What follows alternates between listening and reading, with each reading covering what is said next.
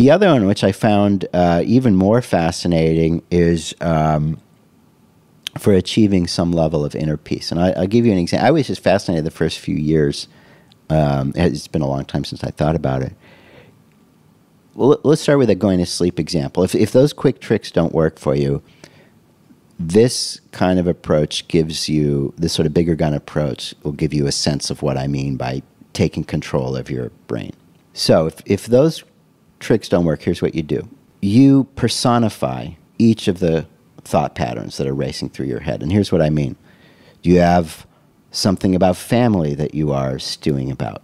So that's Mr. Family. Do you have something about finances? Oh, should I have made this investment? Oh, should I have not made this investment? Oh, I'm running low on this in my bank account. Or what am I going to do about this check that's coming up?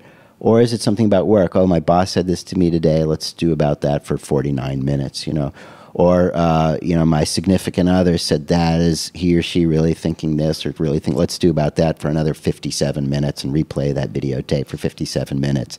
Or my parents this or my kids that. Let's worry about that problem and then cycle back to the finances and cycle back. And you give each of them a character. Give each of them a character whatever you want to name them. Now you put them around a table. And you are the chairman of that board and you say, you start by assuming positive intent. The character that's stewing about the work, you thank them for their thoughts and you say, Thank you for raising those things because that may be helping me, and you may be playing that videotape because you want me to learn a lesson. So let's talk about And before I start, how many minutes do you think you need? I hear you that the reason you're replaying this video in my head is that something happened today and you're replaying that video and over, there's a very good reason that you're doing that. And I appreciate that because you're watching out for me. You want me to learn the lesson from that video. So let's do this. This is the inner conversation you have with that one character, and then you're going to repeat. How many minutes do you need to explain the lesson? Is, is, do you think you need 30 minutes? Well, not really 30. About one? Well, one is not enough.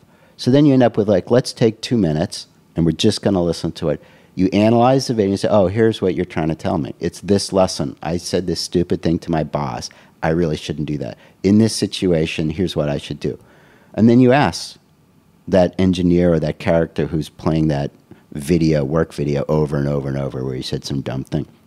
Did I get the lesson right? Yes. Was that good? Yes.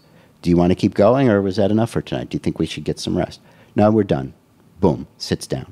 Then you go to the next, the one that's doing about what you happen with your significant other or spouse or whatever. Let's and you're playing some stupid video of some stupid thing that you did and shouldn't have done. Let's go through that. How many minutes do you need? You converge and agree. And you go, how many minutes? You give that character your full attention. You thank and you start by thanking it for watching out for you. Assume positive intent. Instead of making enemies with your thoughts and trying to suppress them, you become partners with them, friends with them. And now you walk through one by one each of the three or four or five characters that were playing videos or, or sounds or, or, or audio about stuff that happened that day that you are stewing about. And you just walk around the table. And as soon as you're done, as soon as the last person says, okay, I'm done, you feel this like incredible calm. And then you just go to sleep.